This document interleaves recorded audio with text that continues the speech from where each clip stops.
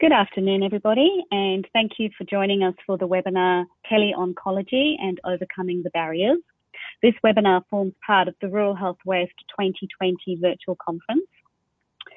Before I hand you over to your presenter, I'd like to run through some brief housekeeping with you. If your audio is not coming through too clearly, you may prefer to switch to audio via your phone. These numbers will be listed on your dashboard and remember to enter in your PIN number too. Everybody has been placed on mute so as to minimize background noise, but we would still love to hear from you. So if you do have any questions, enter them into the question box, which you should also be able to see on your dashboard. The presenter may choose to answer these questions straight away or save them for the end of the session. This session will be recorded and uploaded to the Rural Health West website under the virtual conference banner. I'll now hand you over to your presenter, Dr. Wei Sen Lam.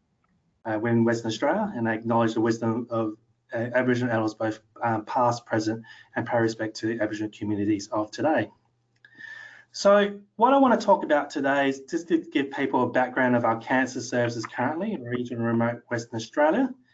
Uh, I want to talk about our uh, barriers and issues to regional cancer care and the work that the WA Country Health Service is doing in developing new services, um, mainly our uh, flagship service, the telechemotherapy service, but some of the new projects that we're undertaking, which is the telelymphedema and teletrials. So just to give a background, we are the second largest administrative territory in the world uh, behind um, a, a um, territory um, in Russia.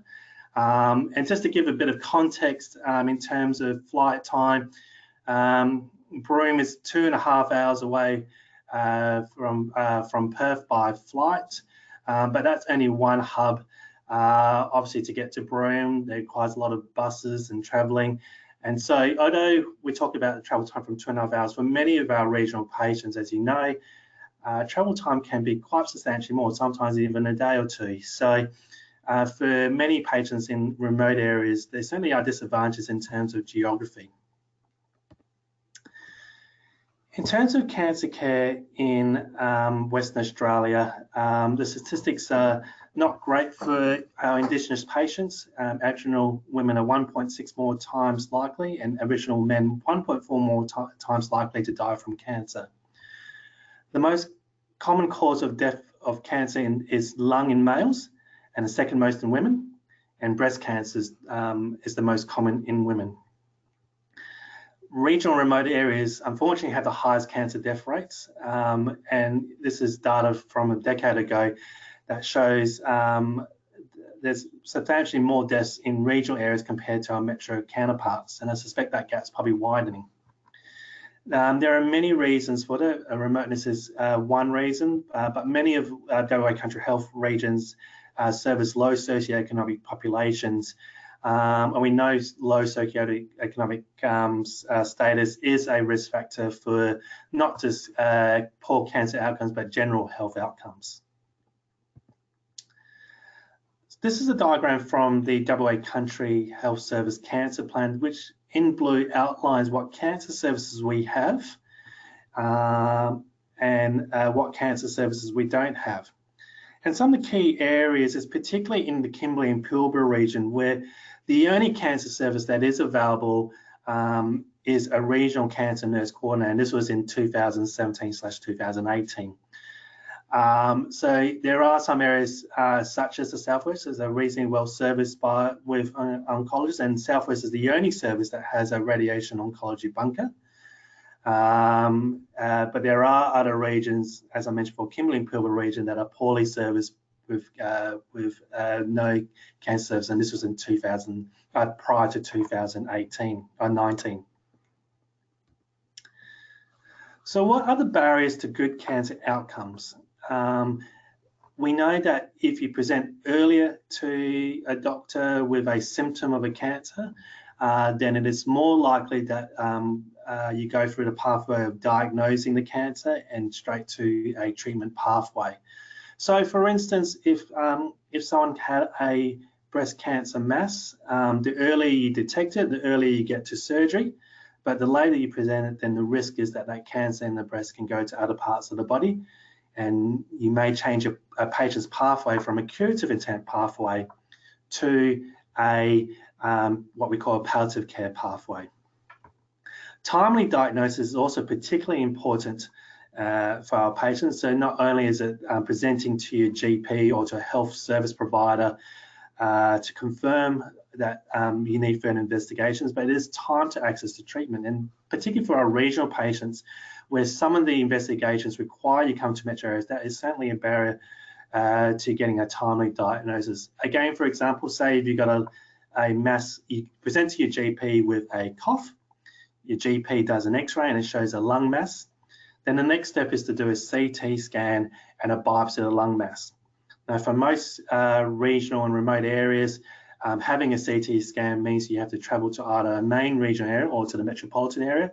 And to do a biopsy for the most majority of patients will have to come to the metropolitan area. The key other aspect is access to treatment. Many of our cancer treatments require surgery. Um, this is common in the metro areas. Uh, some regional areas can offer cancer surgery, um, but other treatments, uh, which is my role, is systemic treatment. Um, and as I mentioned before, there are some areas like the Southwest, the Great Southern area, uh, Midwest, uh, the Goldfields that have uh, uh, cancer centres that can provide systemic treatment. But as I mentioned before, prior to 2019, there were no areas in the Kimberley and Pilbara region that could provide systemic treatment. Uh, this is an article from um, uh, BMJ, which outlines some of the factors um, in terms of delays of diagnosis of cancer among Aboriginal people in Australia. And I highlighted a couple of things already. So the socioeconomic um, status of a patient um, is particularly important. Um, in this journal article, they just um, they use a, a, case study of a patient who um, had a breast mass that was um, growing more substantially. But her priority was to provide for her family, and that's including meals. Um, and and with that, she delayed the, her diagnosis or her um, presentation to a health provider. And so, so therefore, that is a perfect example of where socioeconomic status um, influences a patient's decisions in terms of approaching a health service provider for treatment. There are historic uh, uh, factors for Indigenous patients, um, particularly the impact of colonisation, um, and unfortunately racism is still prevalent in our communities, and this certainly uh, impacts um, Indigenous and Aboriginal patients uh, um, uh, seeking health care. We know with our remote regionals um, areas that um, we do have self system related factors that affect timely care. Um, access to medical services um, is reduced in our region areas, and this again is not just for cancer care, but for all medical services. Uh, we do not have the same availability of doctors in the metro areas compared to the regional areas. Um, lack of culturally safe environment. Um, sorry, there's a typo there, but a shortage of Aboriginal health professionals. Um, and retention of health professionals is particularly important in our regional areas and as many of you know, we do have a transient workforce in our regional areas.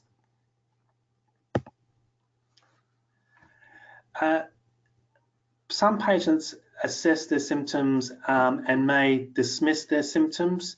Um, so, for instance, someone that may have a cough may not seek medical attention, even though they may maybe bring a lung cancer, uh, simply because either um, they are uh, they have other priorities in on mind, or um, um, again for socioeconomic reasons they may have other priorities and may not seek medical attention until unfortunately uh, the symptoms get worse.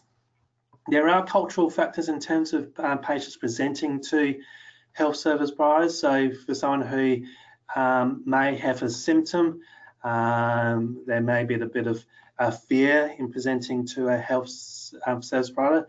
They may be in denial that there may be something going wrong. Uh, some people in the community may feel uh, shameful in presenting to the health provider with a health issue.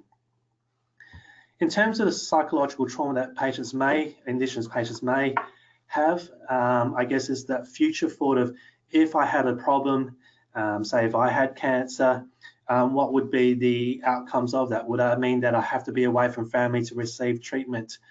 Um, do I want to know what's going on? Um, uh, um, and that's where I guess the denial part comes in. So the possibility of, I guess, a bad health outcome certainly affects our patients and certainly can cause that, I guess, psychological trauma even before a cancer diagnosis occurs. What are the keys to improving regional cancer care? And as I've alluded to in those barriers and factors, earlier diagnosis um, is key to um, patients going to the um, pathway of potentially curative intent treatment. It is key that we um, that patients are linked to a cancer service service very quickly, um, and it's important that our GPs and other primary care sector um, uh, clinicians feel comfortable that they can refer to a cancer service very quickly and have a good relationship to uh, cancer services. It is really important to continue on with education of cancer awareness and continue on with health promotion. That also includes smoking cessation, um, uh, reduction alcohol intake, uh, good diet and good exercise. The W, um, the Cancer Council have done a lot of work in this space in terms of health promotion and in terms of care, care cancer awareness, um, there is um, a lot of work in terms of finding cancer early um, educational sessions that are run by the Cancer Council. What we've been doing, and this is, I guess, the theme of this presentation, is adopting alternative innovative models of cancer care. And in particular, and this is the theme of this talk, is to improve telehealth services, to improve access to cancer care from metro areas to regional areas. So what is the plan? And so there are a couple of statewide cancer plans that really helped us leverage what we've been doing at the moment. So the Sustainable Health Review came out last year, and one of the key points from the Sustainable Health Review is that we need to improve equality in our in country health. We need to improve partnerships and Aboriginal health outcomes. We need to improve uh, the culture um, but particularly, um, there was identification that we need to use the right technology um, and data to help support clinicians and drive change. And with this technology, this will help build financial sustainability, improve governance and systems. So the WA Cancer Plan um, was endorsed and released in 2017. And one of the key um, aspects of the WA Cancer Plan is to, um, to deliver the right care at the right place close to home. And as I mentioned before, we know that dying from cancer is in rural and remote areas, and this is related to, again, prevention, timely diagnosis, service access, and support to treatment. Um, so what we need to do is, and this is in one of the key directions of um, the cancer plan, is to have um, provides um, better treatment uh, for country patients, but improve their journey through cancer care. Cancer care can be very complex. It, as I alluded to, once you have a symptom of a cancer, it requires um, referrals to have further imaging, a repeat biopsy to arrange a diagnosis. From there needs to be discussed at a multidisciplinary team meeting, and then referrals can be sent to either surgery, medical oncology, radiation oncology, palliative care, um, cancer nurse coordinators. So care can be very complex. So we need robust governance of cancer care, but we need to support our patients through treatment. And so through this ways to provide better treatments through telehealth, um, provide innovative deliveries of cancer services in our region, particularly in the Kimberley and Pilbara region. So to really drive the service, we need to understand what are the problems to our service. And so we need to understand why, um, what are the barriers to telehealth? And um, as a health professional um, who commenced uh, this project in 2017, there were certainly many challenges with health professionals um, engaging with telehealth. So many of us would train in a way of um, providing face-to-face -face, um, appointments via face-to-face. -face. Um, many of clinicians that use the service have a lack of trust in technologies. Um, many clinicians found that telehealth was time consuming and were very reluctant to use telehealth. Um, many clinicians had a lack of IT skills um, and there weren't much incentive to use telehealth And because uh, clinicians perceive telehealth as um, having difficulty in uh, using IT, um, and it was consuming, they just didn't feel that it was worthwhile for them to continue on the service. Uh, technology um, um, has been an issue and continues to be an issue, but certainly improving. So it's important to have the right equipment, the right video conferencing platform, access to internet, but it does require a lot of work in terms of having staff support telehealth. So um, I embarked on this journey with various people, but um, in the picture on the left of screen is uh, Mel Polar, who was the project manager for uh, teleoncology. And part of our work, as mentioned in the barriers, is to really uh, create a, um, um, um, the infrastructure for building telehealth. So there was a development working party, so engaging stakeholders to uh, in, to look at the barriers to telehealth and find ways to overcome those um, uh, issues.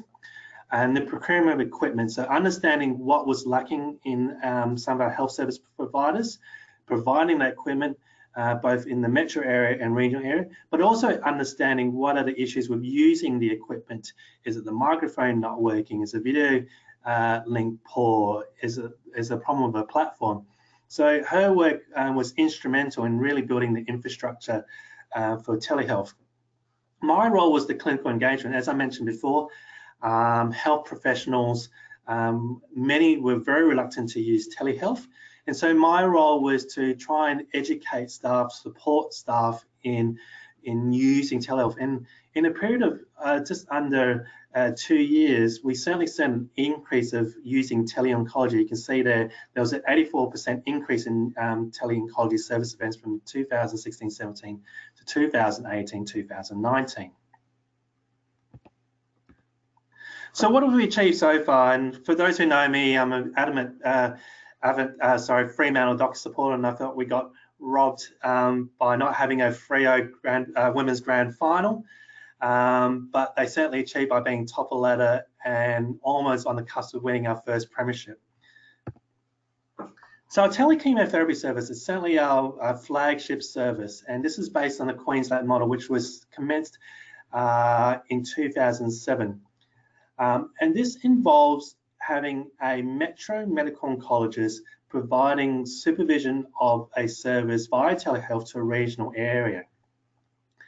We have senior chemotherapy nurses that are trained in the regional areas, so their um, education is upskilled fairly quickly. And you can see in the picture that was Chris Henniker, who's instrumental in helping provide that senior chemotherapy support and training.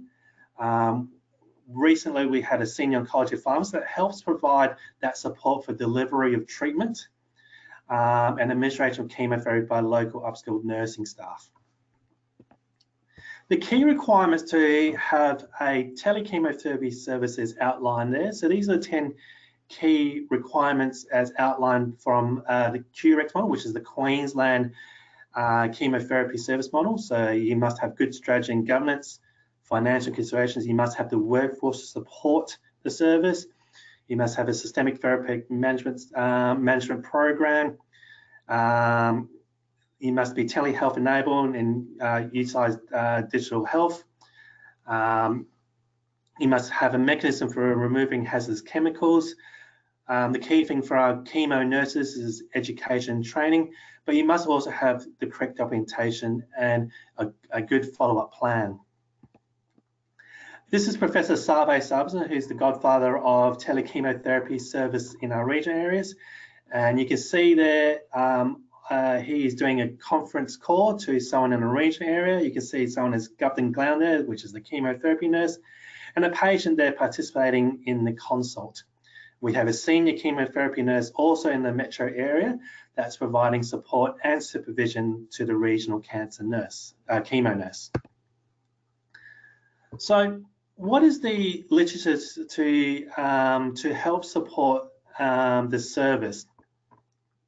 So as I mentioned before, um, the barriers to the services, uh, do clinicians find this worthwhile or is it a big issue to use telehealth? But for regional patients, do they find video conferencing comfortable?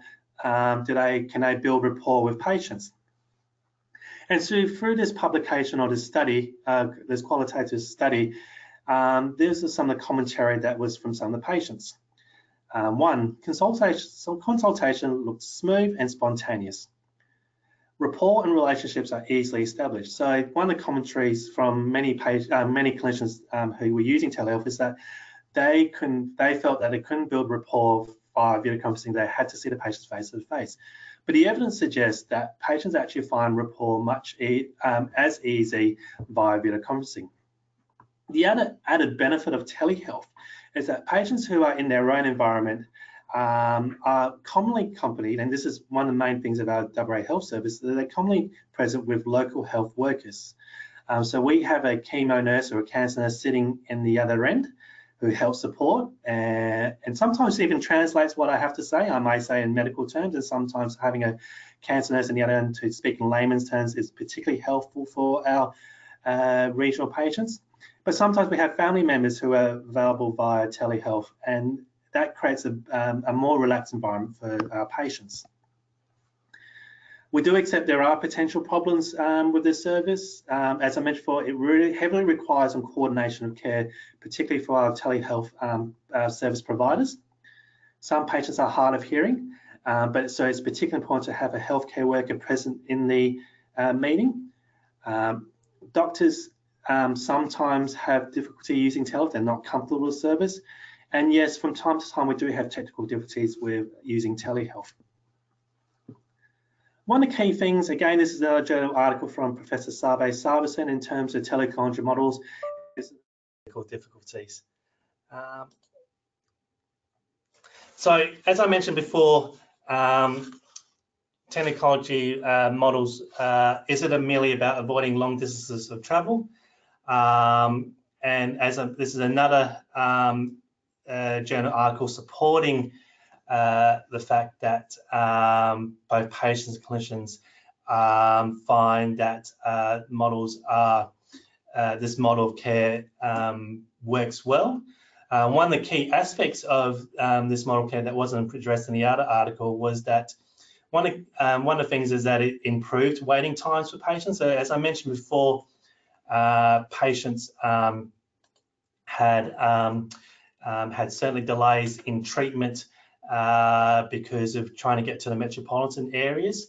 Um, and so these models of telechemo care improve wait times, but they certainly also improve the capability of regional services. So um, regional staff were upskilled in cancer care um, and delivery treatment, but they also understood cancer care better. So um, patients had better um, outcomes purely by improved support from the regional centres, but also um, nursing staff and um, uh, medical staff had um, uh, had upskilled um, and enjoyed their work better because they understood the work better, the cancer care better. One of the common um, uh, comments from uh, our oncologists is is it safe to provide chemotherapy in rural towns? Uh, so one of the big aspects with um, cancer treatment is toxicity of treatment. Certainly some of chemo agents can cause um, febrile neutropenia, or that's infection related to um, a reduced immune system. Um, there are certainly many other toxins that can occur uh, with chemotherapy. And so this study showed that there was actually no significant difference in terms of how much treatment you get. So some patients we have to reduce treatment because um, the treatment is too toxic. Um, but this study shows that compared to Mount Isa, which is um, a, a, remote area compared to Townsville, that there was no reduction in the amount of treatment cycles due to toxicity. Um, that you didn't have to reduce uh, doses significant between metro and regional areas. Um, the side effect profile between metro patients and regional patients were similar, and the amount of hospital admissions required because of a toxic treatment was actually very similar between both a main cancer centre and a telechemotherapy service. One of the key aspects, which I know administrators love to hear, are the cost savings from, um, uh, from a, a, new service delivery model. And again, this is a, a, a, study from Queensland looking at 2007 to 2011 when they started telechemotherapy chemotherapy service. and the cost savings um, involved with um, uh, with the telechemotherapy service. And you can see there the cost saving was just under, um, or sorry, just over $300,000. If you imagine that's um, in the space of uh, five years between 2007 and 2011.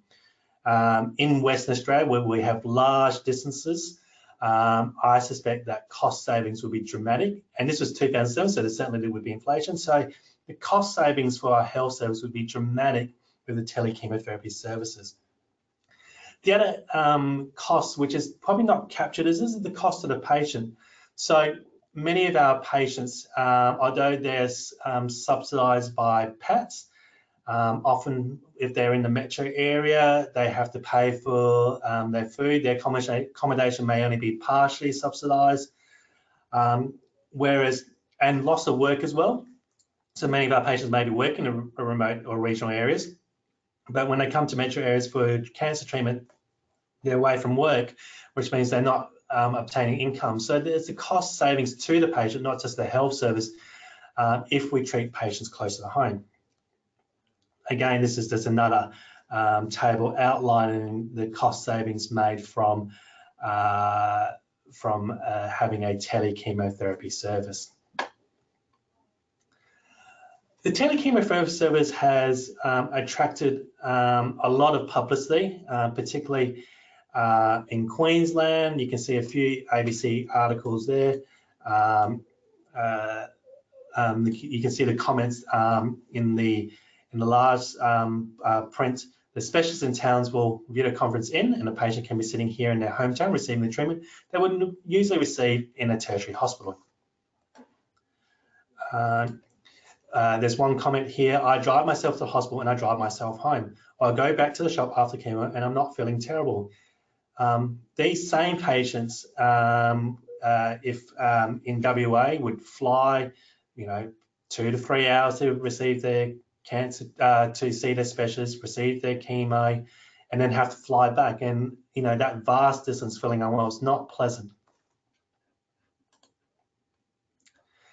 Uh, this is the um, New South Wales telechemo service. So that commenced about two, three years ago, and this is the first patient that received um, um, chemotherapy through the regional telechemotherapy service. And you can see the cancer patient, Stephen Mills, estimates he's avoided driving 4,500 kilometres since November by receiving um, treatment via telehealth. And he also mentioned that um, uh, that he himself and he heard of he has heard of other patients that would have stopped treatment um, if they um, uh, if they didn't have to, if they traveled long distances. And um, and many of our regional patients would have been in that scenario where they just couldn't travel any further uh, for their cancer treatment, and that would have certainly infected, uh, affected cancer outcomes.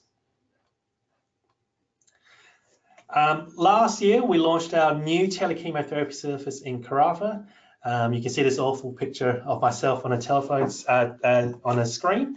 Um, but this is a very this is our flagship service in Karratha, and I'm very proud that it's been running for a good uh, seven, eight months now and running very well, uh, particularly in this COVID environment where patients were unable to travel to the metro areas.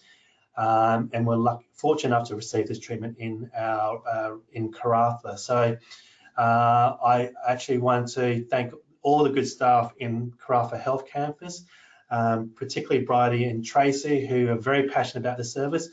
And a really encouraging thing for myself is to really see the growth that that service has um, has provided, particularly in Bridie and Tracy, who have learned a lot along the way, um, and are really strong advocates uh, advocates for their cancer patients. So, um, and this is the point that I want to bring that bring a service to regional areas upskills our cancer pay, um, cancer nursing staff and other staff, um, and I and I feel that um, job satisfaction is very high.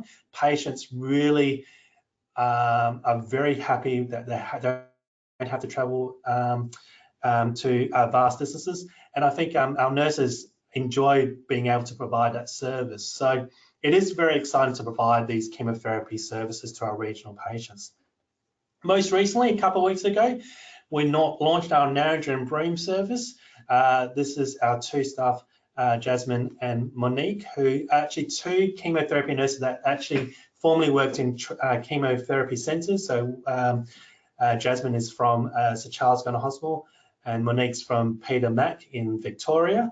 Uh, so very experienced there. So Bremer very fortunate to have two very uh, trained, two trained telechemo nurses. Um, so this again is very exciting and saves many of our regional patients from travelling to the metro area. Similarly, the Narrabeen service, um, that is very exciting. Um, and again, um, lots of publicity of the Narrabeen service, um, especially with their new uh, centre.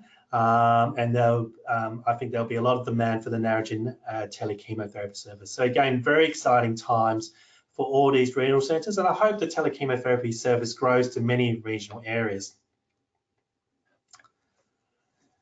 One of the other aspects is in our cancer plan is what other extra services can we provide for our regional patients? And one of the dilemmas with telehealth is, um, is you can't examine the patient or you can't touch your patient. And for many of our allied health services that requires um, physical contact with patients, the interface with telehealth can be challenging. So this is a very exciting service, which is a partnership between WA Country Health and Fiona Stanley Hospital to provide telelymphedema service to our regional patients. And um, this is, um, you can see there, there's Sarah Ang, who's the real driver of um, the service at Fiona Stanley Hospital. So she's a trained physiotherapist in lymphedema, and she has been the driving force for this tele, uh, telelymphedema service. So what this involves is um, having a specialist telelymphedema service um, in the metro site, telehealthing into a regional site, but having general physio occupational therapists in a regional area. What is involved is, of course, telelymphedema is a very specialized allied health service. It requires physical examination of uh, swelling of an arm or, uh, or swelling of the limb, um, um, discussion about garment um, fittings, um, and, and massaging and that's that requires that physical contact. But what um, Sarah and her team have done is upskill our regional services to learn how to do these assessments, but have supervision through um, a specialised um, allied health staff in the metro area. Um, they've um, they continue to do well with the service and there is scope for expansion of this service to other regional areas. So we're very excited to see um, the service grow to hopefully more regional sites. But we hope that this service is the um, benchmark for other allied health services to use where, uh, again, you'd have a specialised um, allied health uh, physician in a metro site. You would have a general allied health staff in the region area, which we would upskill and having that metro supervision to help provide support and education to our regional allied health staff. So I do see this service being a pilot project for all allied health services moving forward. So I'm very excited about this project. And I think this is going to um, really change how we manage our regional patients. The last project, which is our newest project, is teletrials. Um, and what I describe to patients with, um, with trials is that clinical trials allow patients treatments, um, uh, new and cutting edge treatments that you would normally not get for another three to five years. From a, from a medical oncologist point of view, the biggest thing that's changed in the last decade is immunotherapy. So I'm going to use the example of melanoma. And melanoma, namely metastatic melanoma, which is melanoma that spreads other parts of the body, uh, unfortunately um, was a poor prognosis cancer. We used to give chemotherapy uh, and most people would only live six to 12 months with metastatic melanoma. And then this new treatment came out with immunotherapy, and one of those, I guess, recipients was Jarryd Roughead, who's the captain of um, the Hawthorn Football Club many years ago. He had melanoma lip that went into the lungs. He went on clinical trial of immunotherapy. Um, the cancer completely disappeared, and he came back, um, back uh, came back to playing football. So that is a remarkable uh, aspects of cancer care that we would rarely see in a chemotherapy era. Now, if you imagine um, that with a trial, um, by the time you have all the results, um, it takes about anything from three, uh, one to three years. and then you have to have uh, government approval to subsidise the drug, which could take another year or two. So the turnaround time from when the clinical trial starts to actually the trial being a uh, drug being on market can take anything from three to five years. Particularly for our regional patients, one of the challenges with our regional patients is uh, trials are often provided in um, the cancers uh, in the metropolitan areas. So patients would own, would have to come to metro sites to receive these treatments. And as I alluded to in the previous slide, many patients do not want to travel all the way um, for a treatment, and particularly, I guess, for experimental drug, some patients will go, look, I don't want to be receiving experimental treatment. I don't know, that works. I'd rather spend time closer to home. So the teletrial model is a model that's developed um, nationwide by the Clinical Oncology Society of Australia to try and bridge the gap and bring tele, uh, clinical trials to regional patients, to bring cutting edge treatment um, sooner rather than later. And again, leans on the telechemo model.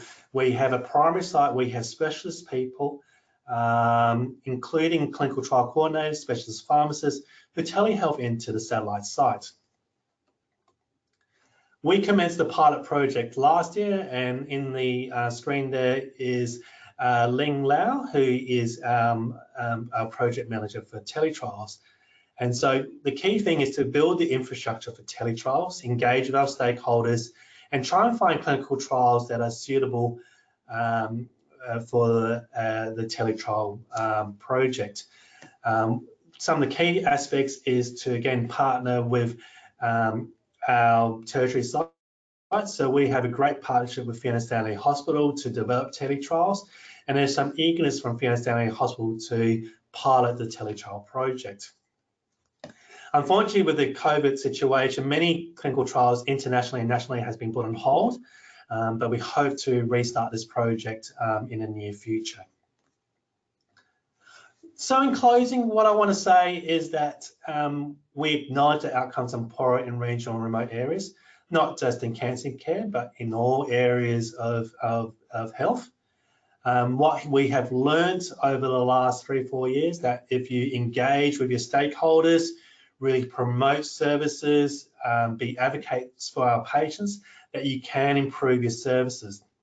We've also shown through uh, evidence, particularly from Queensland, that the evidence shows that clinical outcomes are similar between metro and regional areas if you provide a telechemotherapy service, and particularly for uh, patients who um, who did not have access to cancer care um, because of vast distances, now they have access to cancer care. And what we hope in the future is that we uh, increase the number of telechemotherapy services in our regional remote areas.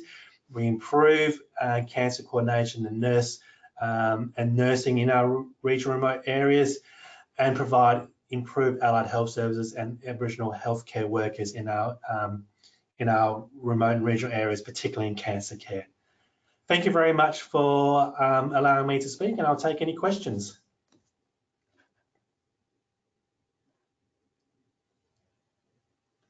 Thank you, Dr. Lam. It's Beth here. Um, I'm keeping an eye on the question box um, to see if any have come through.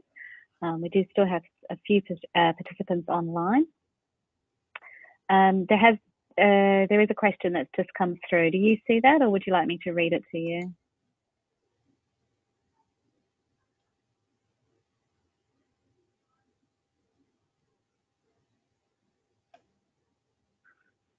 One of our participants asks, um, she says, we are currently finding that our regional clinics have had to be reduced in numbers due to telehealth. How can we deal with this?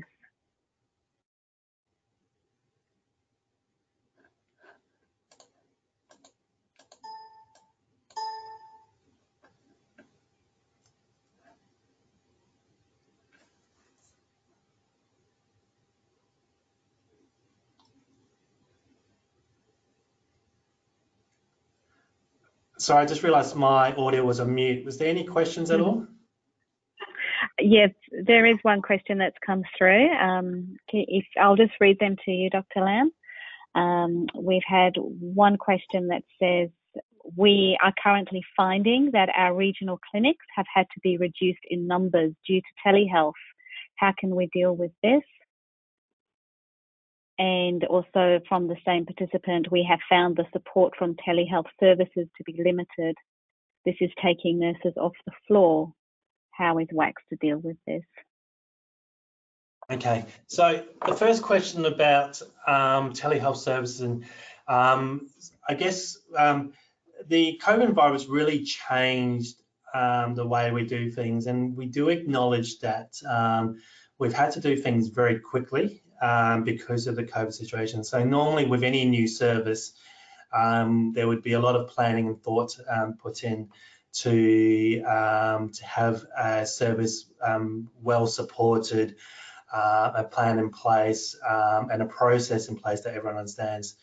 And we know with any new service, there's always going to be teething issues, and certainly with with the uptake of of telehealth services in our region areas, particularly because of uh, clinicians not being able to travel. Um, this was a particular problem, and this is, is an ongoing issue for our new uh, telehealth services.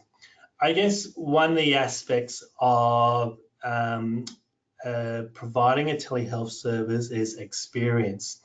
Um, so for many of our clinicians and our staff in our regional areas who may not be familiar with uh, telehealth, it is a bit of an understanding of the capabilities of telehealth um, and an understanding of what you can and can't do. And with anything, uh, it does take time to understand a service. So I guess the first comment is um, experience. So I've been um, an oncologist since 2017, a consultant oncologist since 2017, and been running the Esperance service, telehealth service since 2017. And I do acknowledge when I first um, started the service, um, I had to learn um, the processes. It did take me a, um, a lot longer in terms of having that consultation, learning um, the ins and outs of the patient, learning um, the workflows. But certainly that has improved over time. Um, I've been able to form a relationship with um, my chemo nurses and Esperance um, and ha have developed workflows. So the first thing I think we, sh we shouldn't underestimate is experience and I guess not to be too hard on ourselves. we, I guess, we are high achieving um, as, as, clinical staff. We do want to do what's best for our patients, and yes, um, it is very challenging for um, um, when you're starting a new service to be efficient, particularly when you've been running a service face to face for many years and you understand the workflows. So I think that's one comment is that over time, um, experience is, is, is important and efficiency does improve uh, with experience. Um, yes, we are limited with the technologies that we have. Um, so um, we do use the basic services of emailing, um, faxing, um, and ideally long term we would like to have a, a oncology um, management system that helps bridge that gap. So one of the aspects, I guess, from WA Country Health is to develop an oncology management system for prescribing and for documentation, and that would help, certainly help um, long term in terms of the efficiencies um, of arranging treatment, uh, reducing uh, risk um, and duplication of work. So they're more the long-term aspirations of the service. In terms of, I guess, the question of how do we improve the service short-term, as I mean, for one is experience. Two is understanding the issue. So some of the commentary that's come back, is particularly last month because of COVID, is that understanding of who does what um, uh, who should be scanning? Do we get things in a timely fashion? Um, and those aspects, I think, from the conversations I've had with um, staff, um, hopefully there's some, uh, I guess, agreement about in terms of the processes. And I guess over the coming month, hopefully there's a greater understanding. Um, clinicians, um, I think, in some areas have had to push back to 30 minute appointments when they have normally had 20 minute appointments. And I can understand uh, in that respect um, because um, they are still understanding service. The feedback from some of those clinicians who have had 30 minute appointments are saying that um, they're finding that that's too long now because they're understanding the service. And so um, certainly um, there could be discussions about um, reducing those appointments from 30 minutes to 20 minutes to get through more patients. Uh, doing things um, on the go. So as you would normally do, um, in a consult. So for instance, in my Esperance service, um, I try and dictate letter at this um, after consult and write the chart straight after. Um, some of our clinicians have been doing it at the very end and that may work for them. Um, but if they're used to the process of um, doing the charts, uh, dictating letter per patient at straight after patient, um, then they should follow that same process for their telehealth service. And I find that process much more efficient than doing it at the very end because then you have to go back to the notes and go through your notes again to try and write a letter or do a chart. I do accept that um, the process is cumbersome at the moment. Um, and yes, we do need to work through the issues. And yes, I've had numerous conversations and I think there will still be issues. Uh, but I suspect these issues will um, uh, will improve over time. And certainly, yes, please escalate any concerns or issues. Uh, there was a question too, which I can't quite remember. Um, what was that again, Beth? Well, that's dropped out of my screen now too, Dr. Lam, but I think that you covered that response. Great, thank you. Um, any other questions?